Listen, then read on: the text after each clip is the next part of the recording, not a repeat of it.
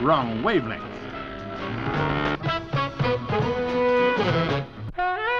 The do-it-yourself exhibition at Olympia, a real threat to lazy husbands. But modern techniques are designed for lazy people. Wall coverings, for instance, self-adhesive but easy to realign if you make a boob the first time. You couldn't do that, could you, Arthur? No, dear. And how about a portable shower to cool you off when you can't get into the bathroom?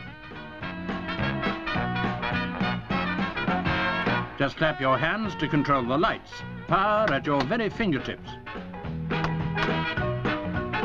Hard to get more powerful than this, a table vise designed to hold those awkward jobs that always seem to slip.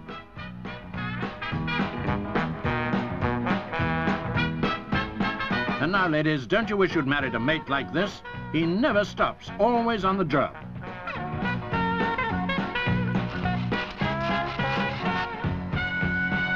Aren't you ever coming to bed?